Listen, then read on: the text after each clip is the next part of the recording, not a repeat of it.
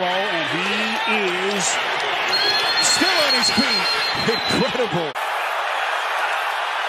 And trying to stay in, leaps out of bounds. Trying to spin out of the Ram rush. He's got the football in his arm, and he's still got it, and he fires it into the end. Allen turns the corner. It is a flag down. It might be against New England. Josh Allen. This time, can he get away? He can! And off to the races again! Allen inside the 30 and out of bounds. And it could be a fourth. I mean, you got to go beat that guy to become that guy. I do agree. Josh is very aware of all of that. Yes. Right now, I just saw him look up and say, I'm aware it's third down. Here it is. It is. Take it off.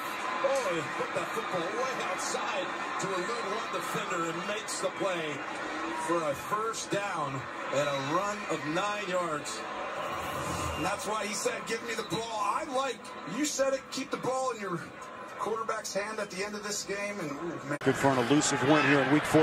Here's Allen again. Quickly will show the wheels. Allen, full head of steam. And first and 10. He's going to tuck it away. Right, breaks a tackle. And the rookie into the end zone for the touchdown.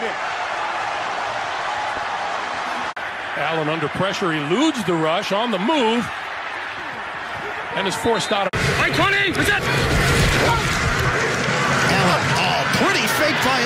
Allen. Trying to set up his receiver downfield and does. Safety, gotta get it go.